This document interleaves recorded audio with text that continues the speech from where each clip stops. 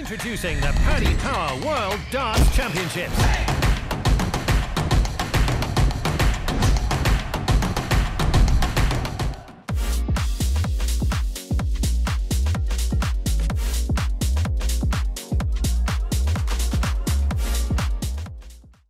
Steve, many congratulations. Superb comeback there. Just sum up your emotions after that match.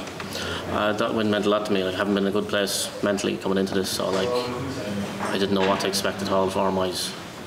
And, like the stage is a hard place to be when you're not in the right headspace. But I don't know. I think when I was two sets nil down, I kind of relaxed a bit, and that's the beauty of the sets and legs format. I kind of didn't look at the overall scoreline and was just treating it as if it was nil all, and just forgetting about the last two sets. And I think a bit of experience paid off in the end anyway. You said you haven't been in a good place mentally coming into this. And how proud are you of the character you've shown to come back from the brink there? I'm happy with myself, but I was even thinking of pulling out of this uh, a while ago. Like so, then I watched the first night and it gave me the buzz. So I'm glad I I'm glad I played in it. We don't have to see much emotion from you on the big stage, and we saw by the reaction there how much that result obviously meant to you. yeah, well, I knew like for the tour card situation, I haven't been looking at it, but I knew like I need a good run in this. So I knew it was massive for me. You mentioned that the tour card situation. Playing in the world is, is enough pressure in itself, but battling to try and keep your place on the tour, how tough is it to just try and block that out and focus on your game? Uh, so I wasn't really thinking of it. I was only thinking about it in the last in the few days leading up to it, but on the day I don't really think about it because obviously like you still want to do well in this tournament, regardless of the tour card situation. And up next to you in round two, it's Johnny Clayton. How are you prepared for that contest? Probably the same way I prepared for this one.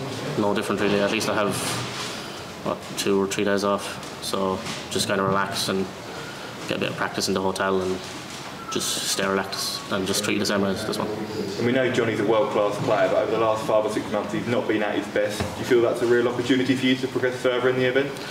Not re- uh, well, yeah. Sorry, no, but I, I don't expect him to play bad. Like, so I expect him to be on top form anyway. If he isn't, well, that's good for me. But no, if I can just play my own game, sure, you never know what happens. Thanks, Steve. Well done. Steve, congratulations. You touched on there the, the whole tour card situation. What's the last couple of years been like then? Has it been draining? Because we've seen you at the match play before, we've seen you produce brilliant things. So obviously the dip in form, has that been draining?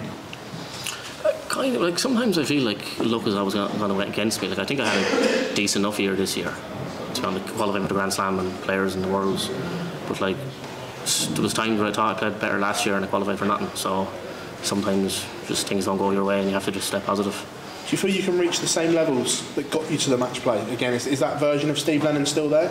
Yeah, it is. Yeah, hopefully one day I can get back there. Yeah. Can you put your finger on why it hasn't quite happened then? Not really, no. Just probably lack of confidence. But like you can only get that from getting a good run on stage, which hasn't happened for me for a while. So maybe this is the this is the time it will happen. And again, looking forward, if you can keep your tour card, you can go into 2024 with so much confidence. And would that be the catalyst that you need, having a run here and keeping your card? Yeah, that would be the that's the overall aim anyway. So once I don't have to go back to Q School, I'll be happy. Steve, congratulations.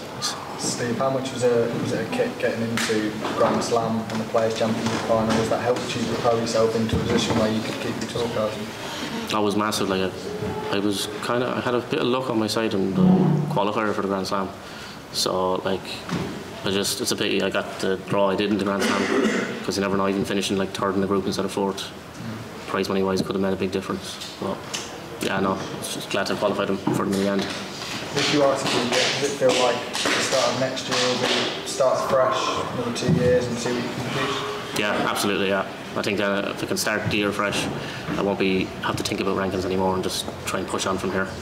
Big day for the Irish as well. Like Braddock obviously lives in Cork. Yeah. Through Willie O'Connell on One now. set up, yeah. Three out of three for the Irish.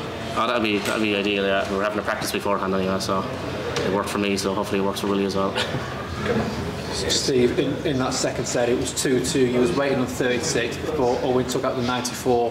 When you went back in the break, how did you mentally pick yourself up knowing that you were so close to leveling it and then you was 2 0 down? It kind of not caught me by surprise, but like I thought it might put a bit of pressure on him. So when he took it out, I was thinking like, even though it's his debut year here, he's not really doesn't seem to be showing that much nerves. So all I kept thinking was if I can just even get one set back, it might put a bit of pressure on him, and then you never know what happens then. And with that win, you up provisionally in that 64th place. That just ease a little bit of pressure knowing that your name is at least for now in the green. To be honest, I haven't looked at the rankings too much. So like, obviously I knew this game was important. So my main aim is just try and do as well as I can in this, and then after the tournament is over, I'll have a look. And hopefully it won't come to it, but if you was to lose your card, is it straight back to Q school? Yeah, I'd say so. Yeah, yeah. Steve, congratulations, welcome. Thank you. Introducing the Paddy Power World Darts Championships.